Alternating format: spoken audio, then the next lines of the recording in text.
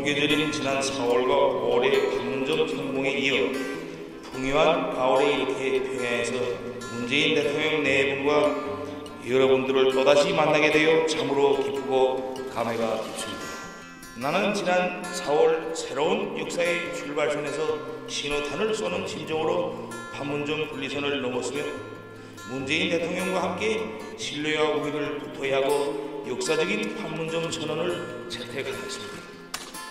나는 문재인 대통령과의 이 뜻깊은 상봉이 북남 관계의 획기적인 발전과 평화 번영을 지향해 나가는 우리의 전진을 더욱 가속시키고 온 결의에게 다시 한번 크나큰 신심과 기쁨을 안겨주는 역사적인 계기로 되리라고 확신합니다.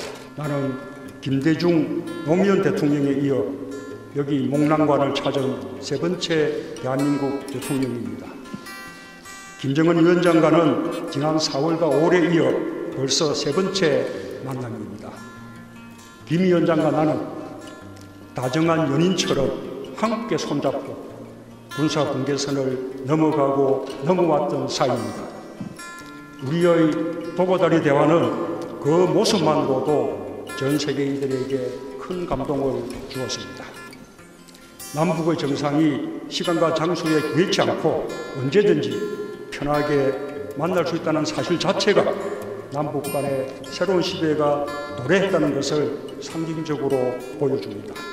온결의 삶을 더 평화롭고 풍요롭게 하는 만남이 되길 진심으로 바랍니다. 우리의 만남이 북과 남의 국민 모두에게 최고의 한가위 선물이 되길 기원합니다.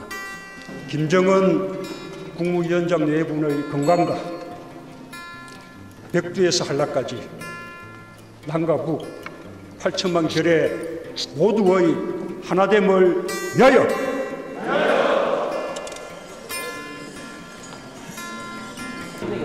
네.